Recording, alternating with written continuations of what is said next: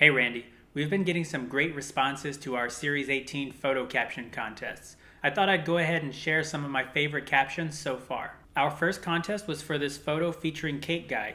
Today is the last day for entries in the Cake Guy photo caption contest, so anyone hoping to enter best hurry. So far, we've got some wonderful entries, such as this one from Kyle Poencott, Want a Piece of Me, and here's a great one for Portal fans. The cake is a lie. Next up, we had Elephant Costume Girl. As a New Yorker, I'm partial to Andrew's proposed caption NYC Pizza Rat strikes again. We're also giving away a unicorn guy. So far, I really like Amy's caption. I've got a sword and a horn, and I'm not afraid to use either. Or is it either?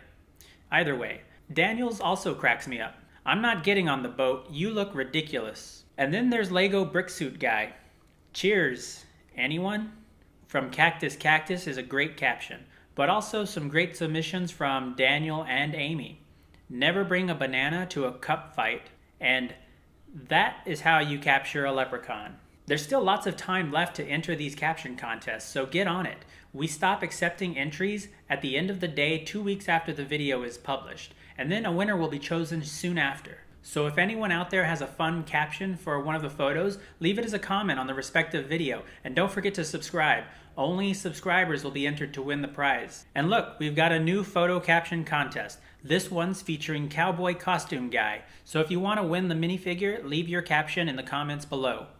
One entry per contest video per household.